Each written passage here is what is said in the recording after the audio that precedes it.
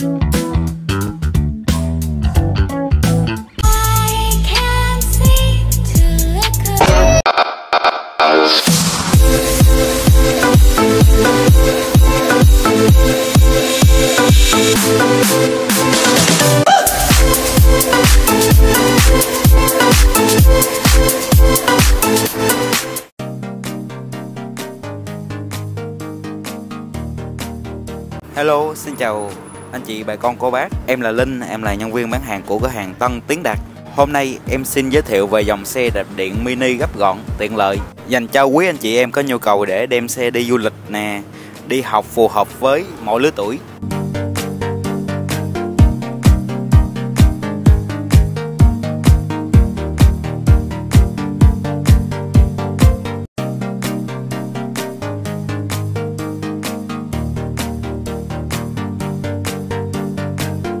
Về thiết kế của ở phần đầu xe thì xe có các nút chức năng công tắc đèn, đèn xi nhanh trái, phải và còi báo hiệu có cả giá đỡ điện thoại. Còn đồng hồ hiển thị là bằng đèn led nha mọi người.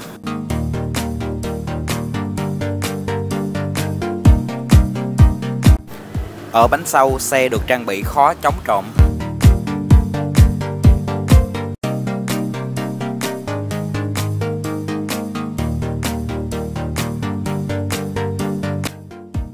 Điểm đáng giá trên chiếc xe này là vừa có thể sạc pin trực tiếp trên xe hoặc rút pin ra ngoài để sạc, mang đến sự tiện lợi ngồi mong đợi về mẫu xe đạp điện đa năng.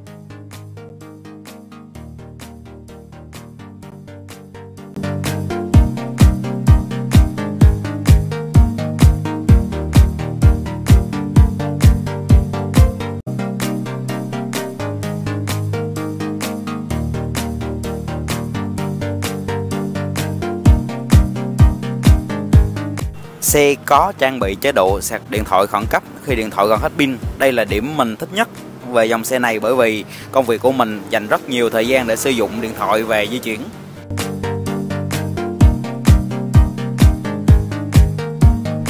Nào mình cùng ờ, các bạn đi dạo một vòng nhé. Với công suất 350W, đây là một mẫu xe không hề yếu khi vận hành.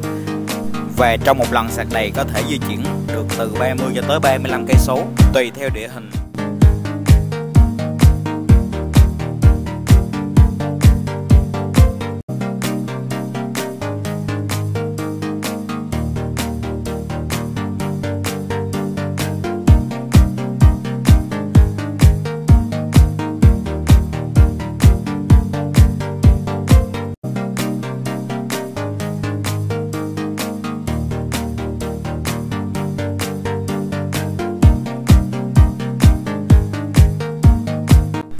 Đến đây em xin cảm ơn bà con cô chú, anh chị em đã dành thời gian quý báu của mình để xem hết video và em xin cảm ơn và hẹn gặp lại ạ.